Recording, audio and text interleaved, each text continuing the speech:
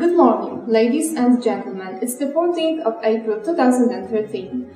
We are pleased to invite you for space weather forecast prepared by the solar science specialists of the 8th High School straight from Katowice, Poland. Please welcome our first reporter who will provide us with general information about the sun's activity. The activity of the Sun stays currently at the moderate level. The sunspot number is equal to 148, what may cause minor disruptions of the geomagnetism.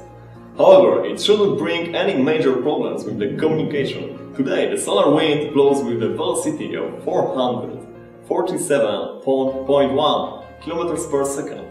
Later, Matt will tell us how exactly it affects the opportunity to observe the auroras.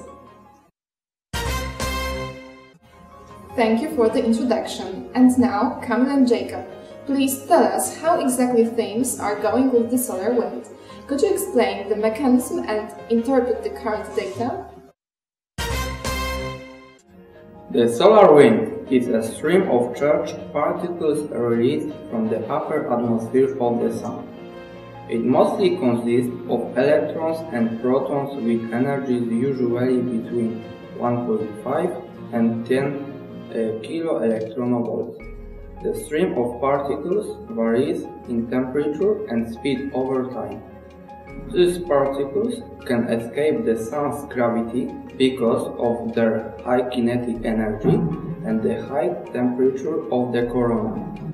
Generally, wind speed ranges from 250 to 1000 km per second and the average value is 750 km per second. So we don't have to worry about disturbance of Earth magnetic field. As we have just heard, the velocity of the wind is 447.1 km per hour. However, its intensity varies with changes in solar activity. Well, that's a good news, Jacob. What about the solar flares? Have they been observed lately? A solar flare is a sudden brightening observed over the sun's surface. The flare ejects clouds of electrons, ions and atoms through the corona of the sun into space.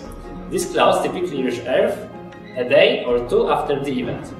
I will, now, I will now ask Adam to give us some information about the impact of flares Adam, Adam, can you hear me? Hi everyone. Solar flares affect all layers of the solar atmosphere. They produce radiation across the electromagnetic spectrum at all wavelengths from radio waves to gamma rays, although most of the energy is spread over frequencies outside the visual range. That's right. What's more, flares are powered by the sudden release of magnetic energy stored in the corona. The frequency of occurrence of solar flares varies during the day from several when the sun is particularly active to less than one every week when the sun is quiet. It is worth mentioning that large flares are less frequent than smaller ones. When it comes to current data, the 14th of April brought flares of B7 class, which means that the brightness in the wavelengths was quite high, in 1 to 8 range, and no noticeable consequence on Earth occurred. The probability of occurring M-class flares in the next 24 hours is 30%. Thank you a lot for this comprehensive presentation.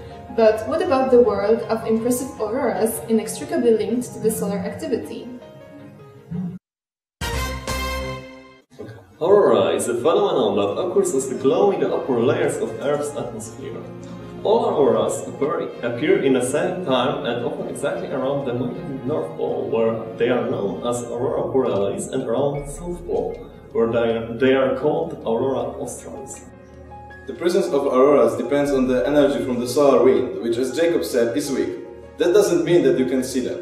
On April 14th, taking into account the weather on Earth, auroral displays will be visible overhead as far south as Alaska, Norway, Russia, and visible low on the horizon in Montreal, Stockholm, Helsinki and Yakutsk. Thank you for your attention. This is all we prepared for today. We wish you a good day and see you another time.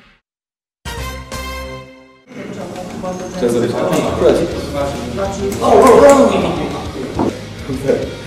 to przecież Wychodzi ci łokieć.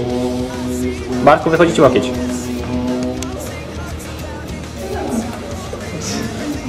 In Montreal, Stockholm, Helsinki and Yakutsk. Tusk powiedziałem? Tak. Jeszcze raz.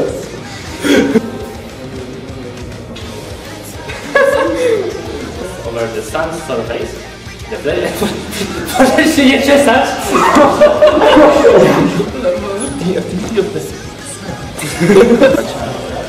Wiem, że przegrano. No rób to dziś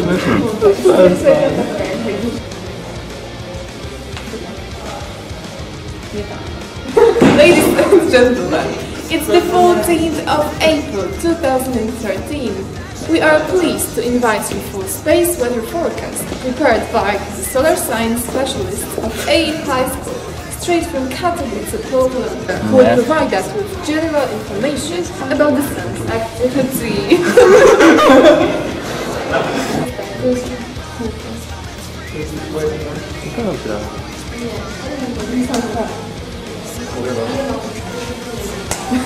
Mogę wyłączyć to nagrywanie, czy nie? To się nagrywa. Od 3 minut. Please welcome our first reporter, who will provide us with general information about the sun's activity. Oh, the activity of the sun stays currently. Tell us how exactly nie. Oh, yes, okay. Thank you for your attention. This is all we prepared for today. We wish you